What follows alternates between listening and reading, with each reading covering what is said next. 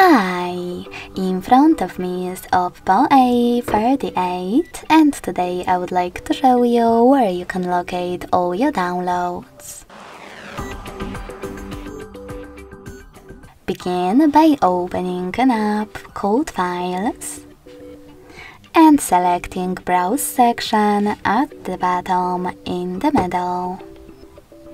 Then click on Downloads category. As you can see, all my downloaded files are over here. To access one, just click on it.